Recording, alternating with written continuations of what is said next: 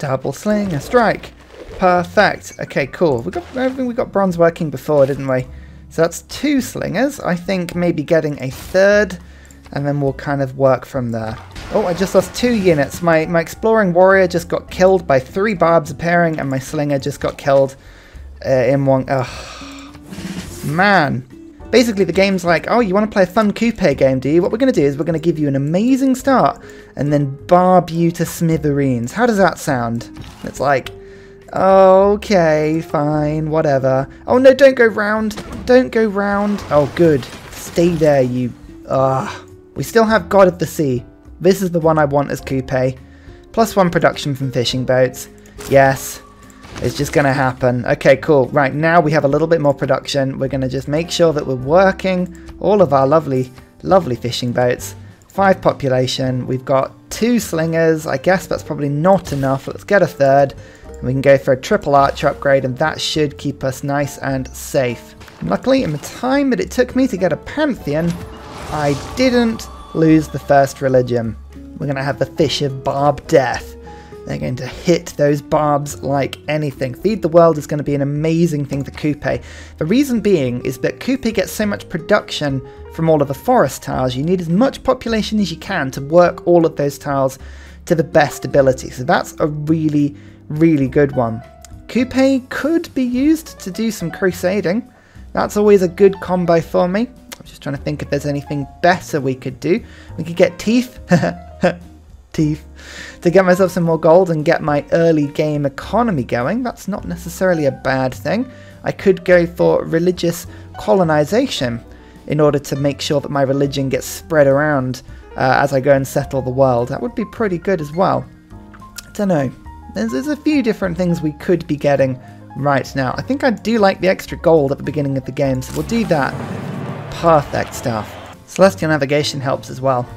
Just lighthouses will stack on top of all of the glorious bonuses that I've got on my fishing boats so far. Just you wait. Now there's a builder. That's nice. But I now need a galley, I believe, in order to make sure that I can go and defend myself. Although, actually, uh, do I? Because I've now got one, two, three archers. Now, these things should be able to fight that galley back a little bit. Not hugely, admittedly, but they can a little bit hit it back. You know what, a galley probably is a good idea. Getting that settler, though, is probably not a bad idea as well. There's a lot of things I need to do. Let's get the settler. I can go and expand a little bit. I've got this builder now that can come and just give myself the plantation to give myself an amenity, which helps me just to get some early game gold because I can immediately trade it away with uh, Gorgo. Or through builder unit. Good thing I just built one. Oh yeah, it's one of those games. However, one luxury and two luxuries. Perfect. That's really cool. Gorgo will buy both of them from me for a lot of gold. That pumps, that just kickstarts my infrastructure at the beginning of the game. Now I've got some archers, so I'm just going to gamble on this trader being able to just like survive for a bit. We'll see if that works out. Well, this is why I love scouts, is you'll be scouting around merrily and you'll run into some barb horsemen and suddenly like, that's it, you're dead. Free Inquiry is good. Monumentality is better with Kupe. Using my gold to purchase in settlers really cheaply is a wonderful thing. So I'm going to just spend 220 gold to get a settler as I'm building this one out. That's not a bad option for me. I'm also going to try and just get rid of some of these galleys quickly. In fact, actually, Agoge is no longer what I want. I want maritime industries. Huzzah! That means now uh, I can build myself the galley that I wanted, which will help me just to defend myself a little bit better, and it'll help me to just get this um, fishing boat back, because I really need that in my capital. Also going to go for the patented Amani start this time, stick her in Auckland, which will give me suzerainship of the city-state. Nobody else is really bothering with it apart from Gorgo, but that plus one production to all of these ocean tiles I mean, that's all of my fishing boats, and that is just insane for me. So that's what we're going to be doing. I feel like I can't send my settler too far at the moment because the barbs are everywhere. So what I might do is go and settle kind of in the middle of Iberia. That'll give me resources uh, like like horses that I can get involved with. There's some more luxuries over here. Just trying to think of the best places to go. Double pasture. If I were to pop over in that direction. Hmm. Looks like Greece is settling into France. I really want to go and settle into somewhere like France, but unfortunately it's just too far away at the moment. That's the problem. Unless I just send my settler wildly. The, the barbs are crazy and I don't really have an army at the moment, so we just need to be a little bit careful. Just a touch careful. Maybe I can go and settle over down here, actually. Maybe on top of that citrus. Uh, there's not much forest down here, but at least it gives me the Gibraltar Passage, which is quite a nice piece of uh, infrastructure to hold on to, so maybe that'll be cool. Seeing that the main thing I really need to be going for is fishing boats. If I can get fishing boats going, that's going to really help me faster than anything else, because between Auckland and the Maori powers and, and all that stuff, it's really where my advantage is going to lie. So there is some fish down there, but maybe I should wait until I can get onto Africa so to go and use this fish as well. There's a triple fish sort of start over here and some citrus. It's not, um, yeah, you know what? Sod it. We're going to go over to here. I think that's probably going to be the best option for me. Go, go, Gadget, Auckland. Go on, do it for me. Oh, look, they just killed, they immediately killed my galley. Come on now. Don't be like that. And they've stolen my worker. Oh. Oh my god, the barbs on this map. I had like an almost full health galley sat there. Never mind. Never mind. It's okay. It's okay. We'll make do. Oh yeah, look at that. All the fish down there. So one, two, three, four fish tiles within range of this little desert city, which is making good of what is a rubbish tile. And I can also start culture bombing as well by going bam, like that. Therefore, I think that's going to be a lovely city very quickly. This scout is just, I mean, barbs are mad on. I think it's just because the map is so big. There we go. We killed that horse to get out, but I'm now being chased by a slinger. Oh, no. So Auckland has given me the extra production, so now my fishing boats are giving me two food and two production. They're really, really, really good. I just need to make sure that I actually have all of them uh, worked, which is the problem right now. Um, this one is still burning. Again, I don't entirely know how the fishing boats burn, but they do. The game is showing me burning, burning things at sea. Lovely. Gaul. Hello. Nice to meet you. Wonderful stuff. Can I purchase your favour? Yes. Everyone wants to sell me their favour. There's my builder. I'll be taking that back. Thank you. Hungary. Hello. Where are you? Where are you living? You are, oh, over in where the Netherlands should be. Okay, well we've got to keep an eye on them because we don't want them stealing stealing anything from us. I can buy some snuffly trufflies from them though. Excellent stuff. And they are still selling me all of their favour, of which Gorgo has now decided to buy. She can't buy much of it though. She's pretty skint, but we can offer her a lot of it. There we go. Fund me.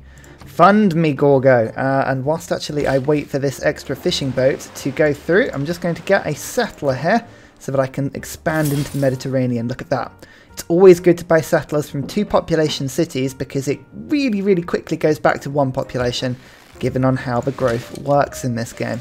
Now, here is the archer. Oh, it can't quite make the attack. Nope, so just to have to wait here a second. Um, oh, and look. All the barbs have... They've decided to come from the other direction now. This is great. So it looks like Gaul is north of Turkey and kind of where I think is this sort of like Armenia, Georgia sort of area? I'm sorry if it's not. It's very difficult when you're looking at a map and there's so much for, uh, fog of war. Very tricky to orientate yourself. I am aware though that it's uh, turn 64 and I've only got 5 science and 2 culture. I really need to get some infrastructure down. I'm building a harbour, but that's about it at the moment. Um, yeah, not, not ideal, but that's okay. Barb camp, driven away. They literally just spawned uh, one of these annoying quadreme sort of type boats, but you know, we'll we'll just have to deal with that. I think I'm gonna have to trap it in and heal this person quickly. Oh, why are the barbs here? Come on, get lost. They're just pillaging all of my plantations. Extra governor, finally. Let's get Pingala in my capital. This is desperately needed to try and get some, some resources. Honestly, nuts. Vietnam, they appear to be right over on the east of the map. Yeah, all the way up here. Very similar to another game I played. They seem to get a very similar start on this map. Germany. Hello. They appear to be over here as well. That's, I, I need access to your empire, please. I need to prove that the world is not round, just sort of flat. So my third settler I've taken all the way into the Mediterranean, past Italy, past Greece, and onto these this little Greek island because look how many fish are around it. This is going to be a fantastic little base for me. Tasty. Still making most of my money by selling other people's diplomatic favour to the Gauls, but that's quite decent, really. Anyone got any luxuries for me? Nah, not at the moment. Never mind, never mind. But we've got a nice builder there. That's good. I think I might just pick up another settler from my capital quickly, like so. Kasploosh. And I think we're going to go and settle something. Now, annoyingly, I was going to go and settle sort of northern France because of all of this over here, but I think Britain might be a good location as well. Scythia. Nice to meet you too. Whereabouts are you? Oh, we haven't actually figured that out yet. We just sort of met them. It's this amazing little city. Look at it. It's just a one population city on an island with only three housing and suddenly, bam, it begins to become a thing. Oh, the yields are really struggling for whatever reason.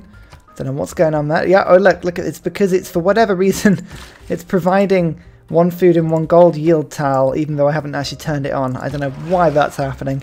I found a little, the first vertical line of the map. I like the idea that it's not even trying to prove that it's round. It's just like, well done, you found a vertical line. Check out these lighthouse tiles though. That is a 5 food, 2 production, 1 gold fish. The crabs are just as good. Normally crabs are useless, but 4 food crabs? Oh, it's no wonder these horrendously giant crabs are scuttling around. We finally learned how to hunt and kill them. It took, it took a while, but once we twigged it, there was no going back. Finally killed that barb encampment. Blimey, that took a while, but my hutchers did the good job. Eventually. I say eventually because my god it took a while, but hey, I'll take it. First job, connoisseur. Lovely. It'll give me a bunch more culture. What's my population? Six at the moment. Hey, that's not bad to 13. Good, I can get my first government really quickly. I know it's settling right by Hungary, and it's not quite on the UK, but there are so many fish around this area, and it's by the cliffs of Dover.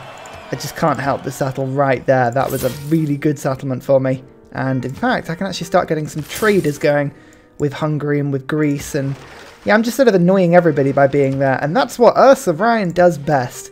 It's just constant infuriation. Immediately, let's get in Classical Republic. We like that. Right, urban planning is okay, builders is better, and settlers is even better than that. First envoy counts are too good. Wonderful stuff. Right, we can really get our infrastructure building up now. I'm sending this settler. I built another settler on my little Greek city, and I'm going to go and settle into what I believe is the beginnings of the Middle East, because, like, Turkey's sort of here, and it comes down. Yeah, sure. That sounds about right. I think that citrus would be a good tile because it's got lovely little fishies next to that. And I love these culture bombs.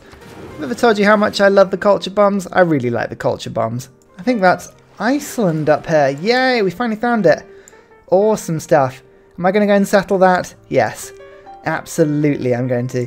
Oh, got to be careful. I have to be careful. That slinger was there, which meant if I'd settled immediately, I would have absolutely been stolen. Okay. Iceland is absolutely inhabited by hundreds of people. We're going to just abandon it and come back another day. it looks horrendous. Oh well, at least we now have this city. Aha, it's my first settlement on Asia. We've got five turns to make three era score. I think that's possible. Ottomans, that is very useful because they are the last people in the game, which means I've met everybody first and I get three era score. Uh, actually, no, somebody did it before me. That's kind of worrying. Maybe one of these Central European civs. I guess they're kind of closer to everybody else. Yeah, well, there we go. Era, we've got a golden era. Next time round, this settler, I've just managed to pop one out of this new city. The thing about the Maori, which I love, is that you get such a huge boost to growth at the beginning of the game as long as you settle near uh, any form of like sea resource. You get yourself to two pop, you buy a settler immediately, and you can sort of spread out from there. Like I've already got two beautiful cities down here. I've got a city there. I've got a city, two cities here. Like I'm really spreading around the map, and I can sort of expand out later as I get more production. And I will get lots more production with Auckland once I hit the industrial era. So that'll take some time to do, but once we get there, Oh, we won't look back. So far though, So good. I really need to improve my religion though. That is something I need to do because I can't be bothered to keep spreading the fish of barb death across the map. I'm taking on everybody else's uh, religions at the moment and it's a little bit annoying, but uh, never mind. Theology. Okay, well, there we go. That means we're now into a golden age. We did it. Perfect. Yeah, this is a funny old start, but I think that the population and Auckland's production is going to start spreading to these cities and they are going to be workhorses before you know it. Watch for trade routes jump up. Uh, I think I've got some good gold routes. Yeah, I'm going to start appearing. Nice six gold routes. Tasty. this game's going to be fun. You just sense it. It's going to be brilliant fun. And finally, a very special shout out goes to Scott Stratton, Major King Kong, Matthew Wilkinson, Salty Tech, Midnight Oil, Trevor Askby, Paul Coffey, Senjit, Kroger Brand Trail Mix, Alex Noob, Cinnamon Beard, and Portland for all of your support on Patreon, as well as everybody else who comments and likes. Thank you!